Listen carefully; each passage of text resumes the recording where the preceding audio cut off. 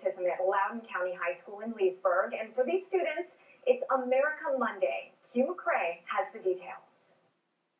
It doesn't take much to tell that it is America Monday here at Loudoun County High School. All you have to do is look around and see all the kids, all the students wearing red, white, and blue today to celebrate the day. But today does not come without controversy. And we reported this uh, over the weekend. But a group of seniors here who call themselves the Young Conservatives organized America Monday, uh, a day to celebrate the United States. But last week, these same students uh, were told they couldn't uh, because the school's administration balked at the idea because they had concerns the day might get too political and suggested a mythological day instead of America Day. Well, the students, their concerns were taken to social media, saying America Monday will go on, and that's exactly what happened today.